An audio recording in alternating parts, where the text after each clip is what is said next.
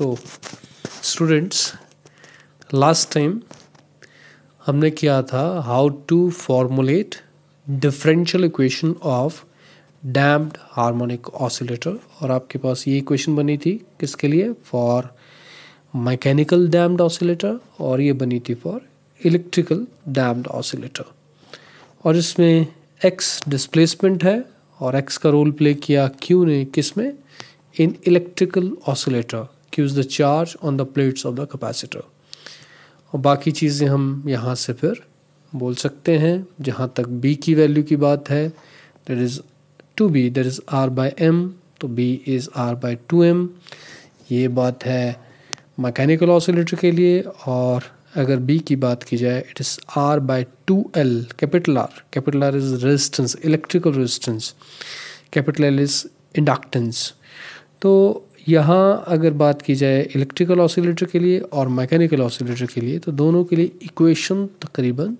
तकरीबन क्या? सेम ही है।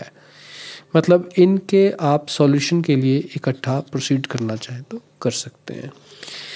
अगर एक का सॉल्यूशन मिल गया तो दूसरे का सॉल्यूशन भी आपको मिल जाएगा। जस्ट अगर मैं मैकेनिकल ऑसिलेटर में एक्स की बात कर चुका हूँ तो क्यू की बात इलेक्ट्रिकल ऑसिलेटर में करनी आसान होगी।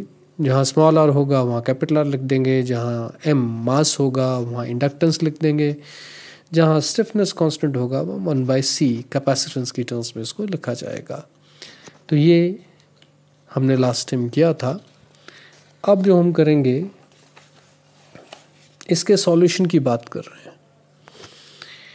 सॉल्यूशन ऑफ़ डिफरेंशियल इक्वेशन तो डिफरेंशियल इक्वेशन आपके पास ये है।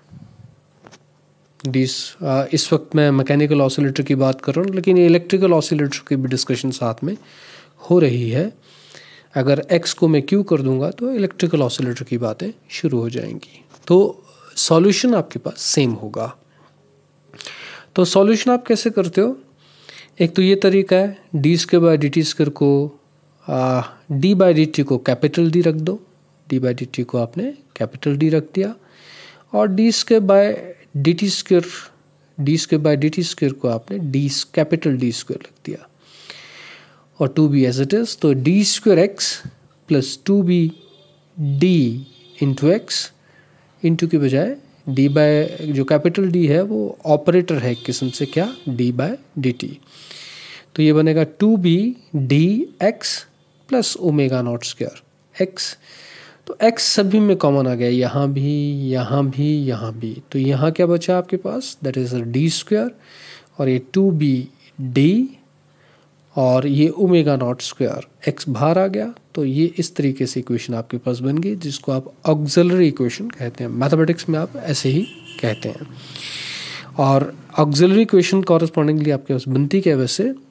डी ये इस हिस्से को आप क्या कर देते हो? ज़ीरो वैसे तो ऑक्सिलरी इक्वेशन का जो सॉल्यूशन होता है, ठीक है, और उसमें आप पर्टिकुलर इंटीग्रल ऐड करते हो, लेकिन राइट हैंड साइड में ज़ीरो है तो पर्टिकुलर इंटीग्रल होगा नहीं। तो हम सिर्फ़ ऑक्सिलरी इक्वेशन के सॉल्यूशन की बात करेंगे। तो आपके पास क्या बनेगा? D square plus two B D plus omega naught square that is zero यहाँ से आप कैपिटल डी की वैल्यू वही है क्वाड्रेटिक है डी में कैपिटल डी में क्वाड्रेटिक है।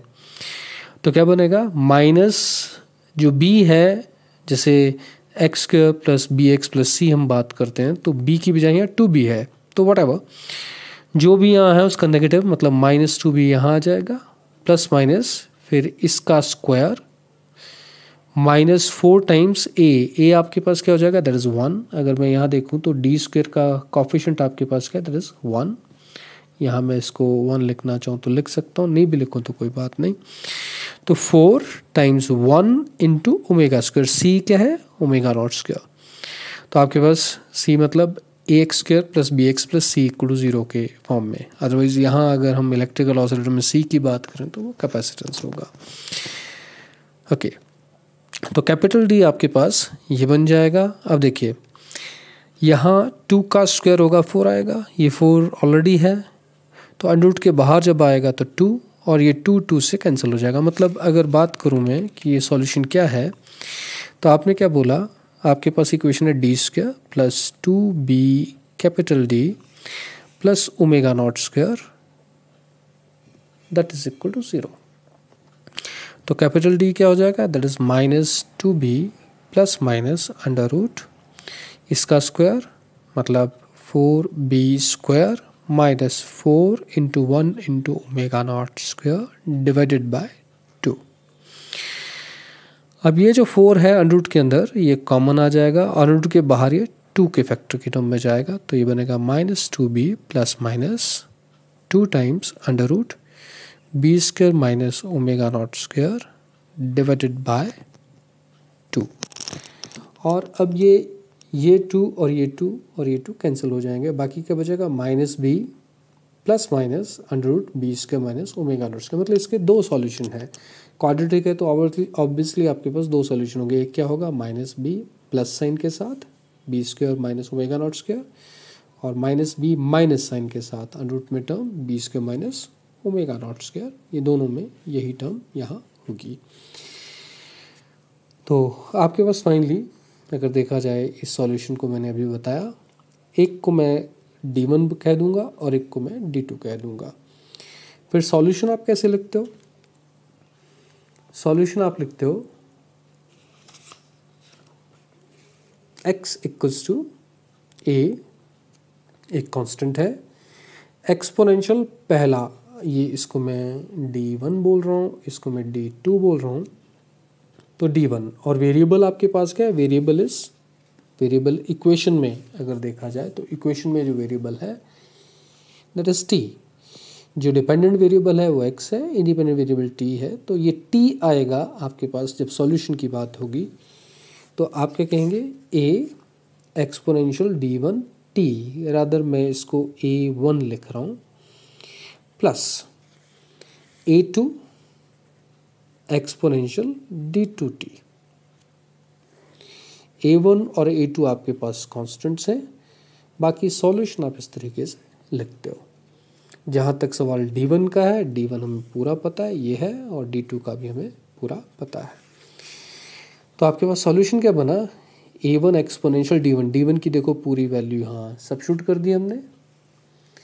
डी वन की पूरी वैल्यू यहाँ सबशूट होगी into t plus a two, exponential d two d two की पूरी वैल्यू यहाँ फिर सबशूट हो गई इंटू टी अब देखिए, इसमें exponential minus b t, exponential minus b t दोनों में है तो वो कॉमन आ जाएगा।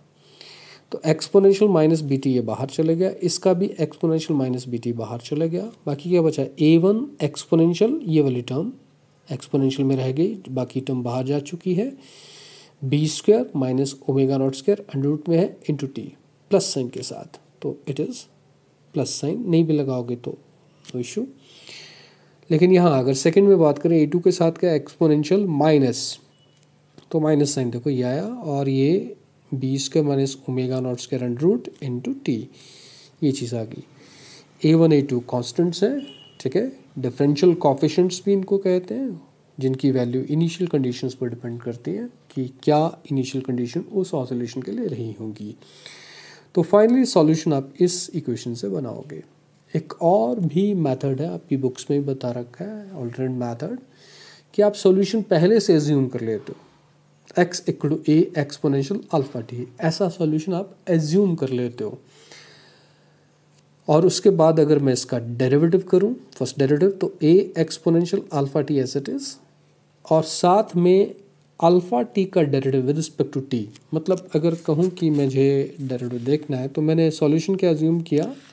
Solution is a exponential alpha t अगर मैं d x by d t की बात करूँ तो क्या हो जाएगा? ए इज़ कॉन्स्टेंट और इसका जो डेरिवेटिव होगा तो exponential alpha t into derivative of alpha t तो अल्फ़ा बींग ए कांस्टेंट बाहर आ जाएगा और टी का with respect to t one हो जाएगा तो ये बनेगा a exponential alpha t into alpha alpha मैंने पहले लिख दिया और कुछ नहीं। इसके बाद अगर मैं सेकेंड डेरिवेटिव की बात करता हूँ, एक बार फिर डेरिवेटिव अगर इसका किया जाए तो a alpha exponential alpha t as it is फिर इसका डेरिवेटिव होगा, वही एक और अल्फ़ा आ जाएगा। टी का with respect to t one हो जाएगा, जैसे हमने यहाँ किया था। तो ये अल्फ़ा स्क्वायर हो जाएगा। तो ए अल्फ़ा स्क्वायर एक्सपोनेंशियल ठीक है? अल्फ़ा टी तो ये सेकेंड डेरिवेटिव आ गया आपके पास।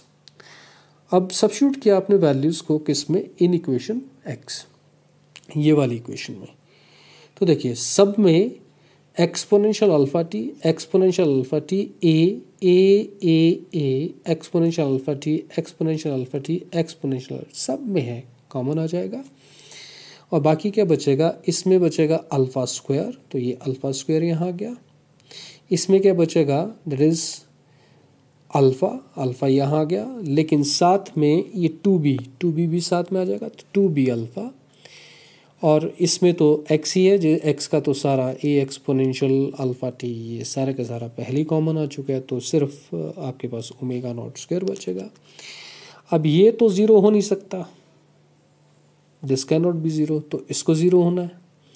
अगर इसको ज़ीरो होना है तो वही चीज़ अल्फ़ा की वैल्यू ये बिल्कुल डी के पैरल डी के इक्वलेंट हो गया। मतलब जो डी की फॉर्म में इक्वेशन बनाई थी, वो अल्फ़ा की फॉर्म में बन चुकी है।